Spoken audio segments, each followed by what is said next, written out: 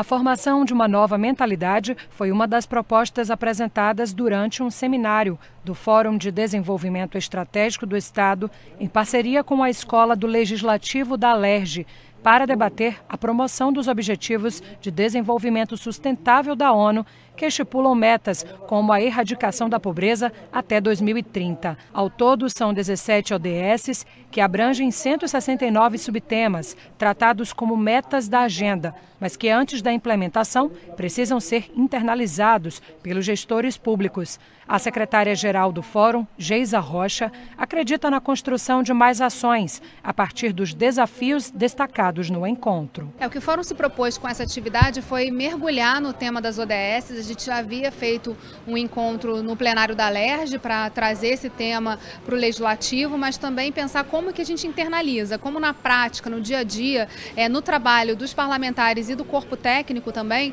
a gente pode observar quais são as metas, os objetivos que a gente vem cumprindo já com a atividade é, do parlamento. Dados de estudos apresentados no seminário apontam que nos últimos 100 anos, os seres humanos destruíram mais a natureza do que nos milênios anteriores. Outro ponto se refere ao lixo, um dos maiores problemas sobre o meio ambiente. Para o procurador-geral do Tribunal de Contas do Estado, Sérgio Cavalieri, a maior atuação tem que se concentrar no poder público, já que é possível, por exemplo, eliminar empresas que destroem os ecossistemas das licitações. Mostrar que cada um tem o seu papel, tem o seu dever, tem a sua obrigação.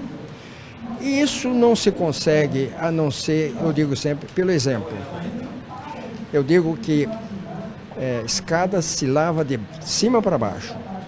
Então, se quisermos dar, levar essa mensagem e mudar a mentalidade na questão de consumo, o poder público tem que dar o exemplo.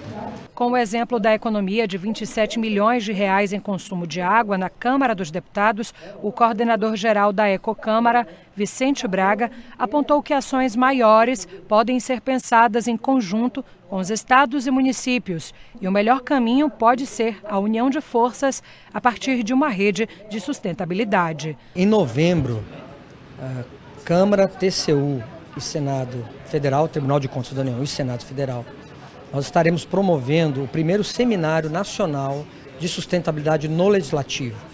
E as câmaras municipais, as assembleias legislativas estaduais serão convidadas a participar presencialmente. Também teremos a transmissão por meio virtual, digital.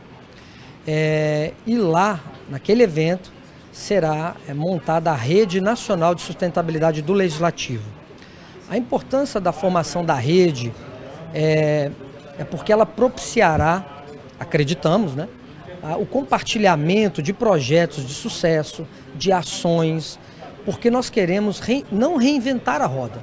Existem muitas ações que, que nos próprios municípios, nas câmaras municipais, certamente você possui projetos de sucesso que podem ser compartilhados conosco, com todos. Os ODS foram aprovados há três anos pela ONU, mas ainda são considerados pelo parlamento como um grande desafio. Em tempos de consumo desenfreado em países como os Estados Unidos, China e Brasil, a agenda é vista como um fator ambicioso. O analista de desenvolvimento sustentável do Programa das Nações Unidas para o Desenvolvimento, Lorenzo Casagrande, acredita que os chamados cinco P's paz, parceria, pessoas, planeta e prosperidade fortalecem a ideia de equilíbrio e também de atendimento das necessidades globais. É uma questão que vai ter que ser repensada em algum momento. Né? Um dos objetivos fala justamente sobre a questão do consumo e produção sustentável.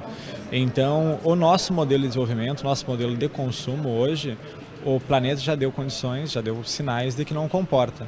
Então, em algum momento, isso vai ter que ser enfrentado. Naturalmente, a estratégia de 2030 é um plano político, né? Uma organiza é um convênio entre 193 países, um acordo. Entretanto, cada país tem, uma, tem a sua própria velocidade para atingir isso, se for previamente 2030.